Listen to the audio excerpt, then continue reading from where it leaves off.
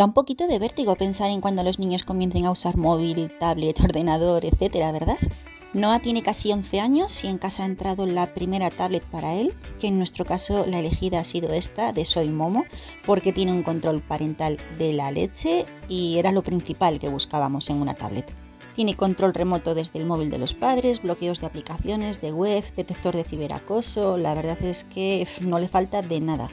Tienen cuatro modelos diferentes, la nuestra es el modelo Pro, que tiene un tamaño de 8 pulgadas y bueno, como todas las tablets de Soimomo, incluye una funda súper resistente para salvarla de pequeños golpes o caídas.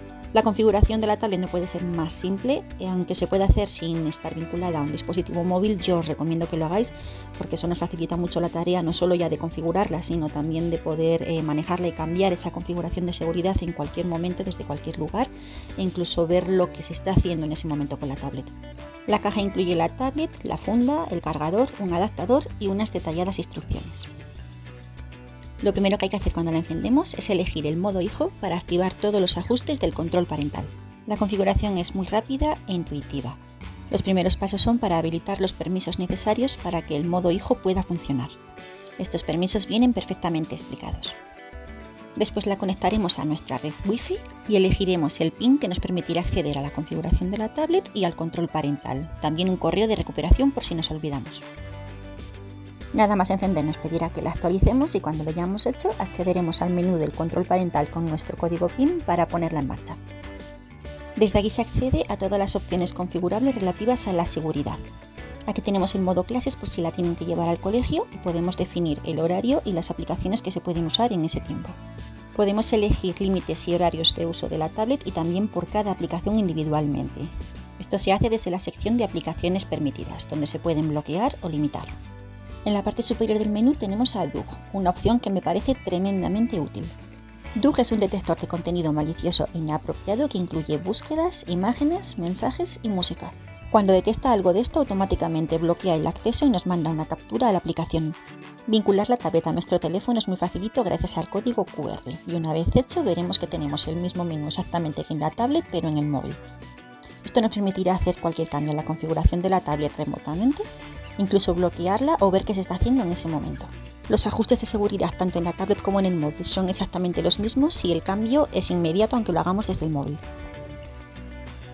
Ahora vamos a suponer que los niños quieren instalar una aplicación y veamos qué pasa veremos que la aplicación efectivamente se instala, pero a la hora de abrirla no se lo va a permitir. Necesitarán meter el PIN parental en la tablet o darle la autorización mediante nuestro teléfono móvil, donde por cierto también aparece toda la información relativa a esa aplicación. También veremos que en ocasiones nos salen consejos o alternativas a dichas aplicaciones porque las considera poco seguras. Desde ahí mismo podremos bloquearlas o establecer un límite de uso. Dug es una inteligencia artificial creada por los desarrolladores de Soy Momo que detecta y bloquea el contenido malicioso en imágenes, búsquedas, mensajes y canciones. Para ponerlo a prueba he hecho una simple búsqueda en Google buscando imágenes de una mujer desnuda. Como podéis ver, durante 5 segundos vemos la imagen y en cuanto Dug la detecta, automáticamente se nos bloquea. Y al mismo tiempo nos llega un aviso al teléfono móvil y utilizando la aplicación podremos acceder a la imagen en cuestión y ver su procedencia y de qué imagen se trata. Y lo mismo ocurre con los mensajes de texto. Otra función muy útil de esta inteligencia artificial es la del registro de estado de ánimo, que se basa en las búsquedas o mensajes que los niños realizan para detectar si tienen algún riesgo de depresión y avisarnos.